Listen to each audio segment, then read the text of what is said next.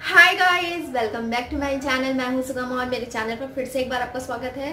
तो थोड़ा सा घर की जो है, दिवाली की सफ़ाई चल रही थी, जिसकी वजह से मैं दो दिन से वीडियो शेयर नहीं कर पाई। उसके लिए सॉरी सॉरी बिकॉज़ बहुत से लोगों के मेरे लैंड मैसेज आ रहे थे।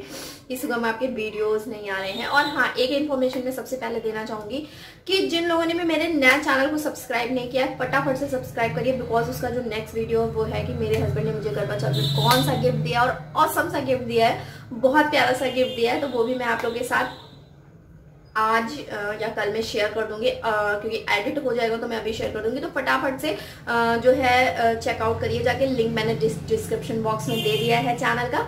तो चलिए, आज का टॉपिक स्टार्ट करते हैं। बिकॉज़ फेस्टिवल सीज़न है, करवा चौथ जा चुका है, दीपावली आने वाली है और दीपावली में आई थिंक कोई भी अपने आप को खाने से रोक नहीं पाएगा।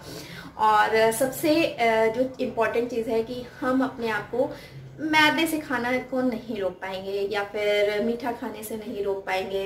क्योंकि आई नो मैं पूरी तरह से अंडरस्टैंड करती हूँ कि फेस्टिवल सीज़न में आप मिठाई से दूर नहीं रह सकते, आप मैदे से दूर नहीं रह सकते। और एक चीज़ मैं बताना चाहूँगी कि इन सारी चीज़ों से अगर आप दूर नहीं रहोगे तो आपकी आंतें पूरी तरह से ब्लॉक हो जाएँगी।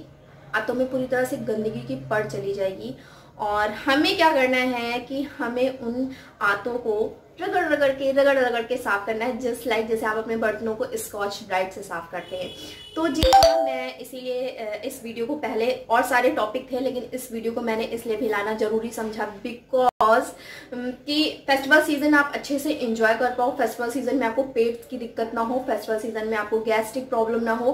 फेस्टिवल सीज़न आप बहुत अच्छे से इंजॉय करो, ऐसा नहीं है कि आप बीमार पड़ जाओ। तो जी हाँ आज मैं बताऊँगी कि स्कॉच ब्राइट्स की की तरह आप अपने आंतों को किस तरह से रगड़ रगड़ के साफ़ करिए।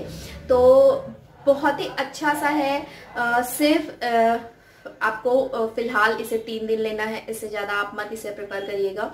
क्योंकि ये बहुत गहराई से बहुत ही ज़्यादा गहराई से साफ़ करेगा। जैसे मैं बोल रही हूँ कि जस्ट लाइक स्कॉच ब्राइट की तरह साफ़ करेगा और मतलब बहुत ही अच्छे से साफ़ करेगा। तो एक बार ट्राई ज़रूर करिएगा और देखिएगा किस तरह से झट से आपका जो है वो वेट गिरेगा। यानी कि अगर आप 60 पे स्टैंड कर रहे हो तो आप 52 पे स्टैंड करने लगोगे। अगर आप 80 पे स्टैंड कर रहे हो तो आप 70 पे स्टैंड कर लोगे जस्ट लाइक थ्री डेज़ में। तो इतना सस्पेंस नहीं क्रिएट करती हूँ और मैं सस्पेंस भी नहीं क्रिएट कर रही हूँ क्योंकि रेसिपी तो मैं यहाँ नहीं दिखा दूँगी आगे ही दिखाऊँगी। तो वीडियो अगर आपको अच्छा लगे और मेरी मेहनत अच्छी लगती हो तो ज़रूर लाइक करिएगा चैनल पसंद आया तो सब्सक्राइब ज़रूर करिएगा। तो टाइम को वेस्ट नहीं करते हैं और चले चलते हैं तो फ्रेंड्स इसके लिए आपको लेना है सुहागा यानी कि बोरेक्स। पंसारी की दुकान पर जाइए बीस रुपये का लेके आइए बहुत आसानी से मिल जाएगा इस तरह से दिखता है। इसे आप घर में मिक्सी में पीस लीजिए कूट लीजिए देन उसके बाद आपको इसे तवे पे रोस्ट करना है। जब आप इसे तवे पे डालेंगे तो ये हल्का सा पानी छोड़ेगा।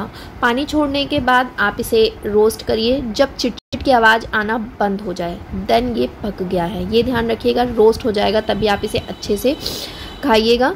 पानी छोड़ने का बिल्कुल भी टेंशन मत लीजिएगा तो रोस्ट करने का तरीका यही है और ये फूलना भी स्टार्ट हो जाएगा। तो फ्रेंड्स इस सुहागा को आपको लेना है।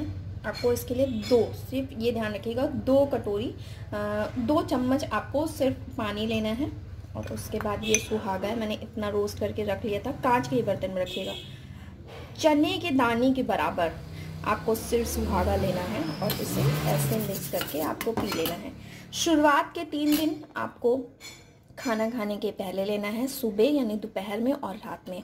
खाना खाने के 10 मिनट पहले आप इसे ले सकते हैं और तीन दिन बाद अगर आप इसे प्रिफर करते हैं, आपको लगता है कि अभी भी है पेट में कुछ तो आप तीन दिन, वरना तीन दिन इनफ है आपको इसे साफ़ करने लेने का तरीका, जैसे मैंने बताया, वैसे लीजिएगा और इसे रोस्ट बहुत अच्छे से करिएगा। जब चिटचिट की आवाज़ आना बंद हो जाए इट मीन्स कि आपका सुहागा पूरी तरह से रोस्ट हो चुका है।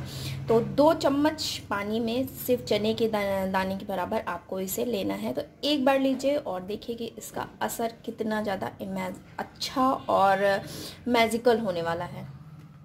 यहाँ पे एक चीज़ मैं बहुत ध्यान से बताना चाहूँगी कि ये जो सुहागा है, ये अच्छे से रोस्ट हो जाना चाहिए विदाउट रोस्ट नहीं होना चाहिए और ये जलेगा कभी नहीं क्योंकि इसकी ऐसी प्रॉपर्टी होती है कि आप तवे पे इसको चाहे जितनी देर डाले रहिए, कभी नहीं जलेगा।